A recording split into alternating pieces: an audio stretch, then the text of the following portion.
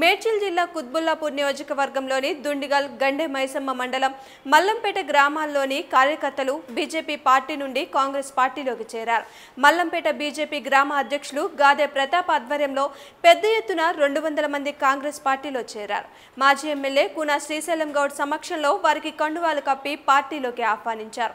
ఈ సందర్భంగా వారు మాట్లాడుతూ కాంగ్రెస్ హయాంలోనే అభివృద్ధి జరిగిందని టీఆర్ఎస్ ప్రభుత్వం చేసిందేమీ లేదని ఆయన ఎద్దేవా చేశారు.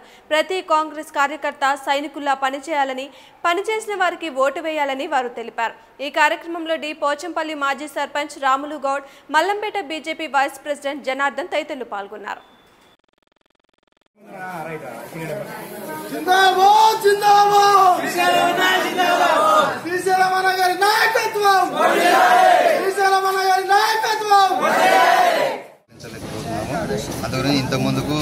గత రెండు వేల నాలుగులో అప్పుడు అప్సాసర్ గుర్తుకు శ్రీశైలమన్న గారికి కూడా ఇంతకుముందు మేము పనిచేసి గెలిపించుకున్నట్టు గెలిపించుకున్నాం. అప్పుడు ఇండిపెండెంట్గా పనిచేసినాం కాబట్టి ఈసారి కూడా మళ్ళీ అన్నతోటి మేము అందరు బీజేపీ గ్రామ అధ్యక్షుడు ప్రతాప్ మరియు వారి మిత్రమండలు వాళ్ళ సోదరులు అందరికీ కూడా కాంగ్రెస్ పార్టీలో మాజీ ఎమ్మెల్యే పోలీస్ స్టేషన్ ఆధ్వర్యంలో కాంగ్రెస్ పార్టీలో చేరడం జరుగుతుంది.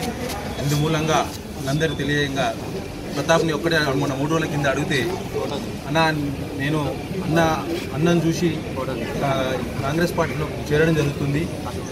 మరి అలయన్స్లో బీజేపీ టీడీపీ అలయన్స్లో రెండు వేల పద్నాలుగులో పనిచేసి మరి గెలిచినప్పుడు ఆనందపడి మిత్రులు ప్రతాప్ గారు ఇంకా వారి యొక్క సోదర బృందం మిత్రులందరూ కూడా మరి గెలిచిన వ్యక్తి మూడు నెలలకు ఎనిమిది నెలలకు పార్టీ పెంచి సైకిల్ గుర్తును వదిలిపెట్టి కారు ఎక్కితే అప్పుడు సైకిల్కి పనిచేసిన ఎవరు పట్టించుకోలేడు.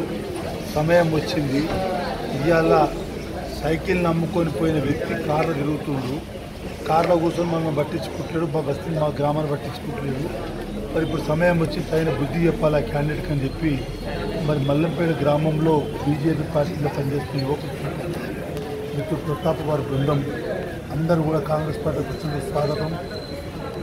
సుస్వాగతం తెలియజేస్తున్నారు అదేవిధంగా మాజీ సర్పంచ్ రామగౌడ్ గారికి ముఖ్యంగా నేను తమ్ముడితో మనవి చేసేది తెలంగాణ రాష్ట్రం ఏర్పడ్డాక ఇవాళ టీఆర్ఎస్ పార్టీలో ఉన్న నాయకులు అంతా సెటిల్మెంట్ సికిందర్ కుతుల్లాపూర్ ఎవడు ఫ్రీగా పనిచేసే పరిస్థితి ఒక కూన శ్రీశైలం తోడు లాంగ్ కాన్సెప్ట్ లాంగ్ దూరదృష్టి పెట్టుకొని జీవిత కాలంలో ఒక పేరు తెచ్చుకోవాలి ఒక పని చేయాలి పేదోనికైనా పని చేయాలని ఒక ఆలోచన పనిచేస్తాను నేను మల్లంపేట గ్రామంలో కూడా పని చేసి పట్టాలి. నాదే. రెండోది ఏంటంటే రాబోయే ఎన్నికల్లో మీరు మీ గ్రామంలో మీరు పరిస్థితి చేయండి ఇక్కడ పార్టీ. ఎవరైతే ఎలక్షన్ లోపల వచ్చి పనిచేస్తారో వాళ్ళే నా లీడర్ నేను వాళ్ళ లీడర్. రేపు మనం గెలిచిన తర్వాత ఇంకెవరైనా వచ్చారనుకో అప్పుడు మిమ్మల్ని అడిగి రమ్మని చెప్తాం. అంతకన్నా ముందు పది రోజుల ముందు వచ్చి జాయిన్ చేసుకుందాం. దాని తర్వాత మీరే నా లీడర్. నేను మీకు లీడర్. మీకు ప్రయారిటీ ఇస్తానని చెప్పి మరొకసారి మనీ చేస్తూ మీ గ్రామంలో ఎన్ని అవుతున్నాయి ఎన్ని అవుతుంది నార్త్ ఇండియన్లు ఆంధ్రులు తెలంగాణలు మరి మూడు ప్రాంతాలతో కూడా ప్రాంతాలు పక్క పెట్టి పనిచేయాలని చెప్పేసి మీ అందరూ కూడా కోరుతున్నాం జై కాంగ్రెస్!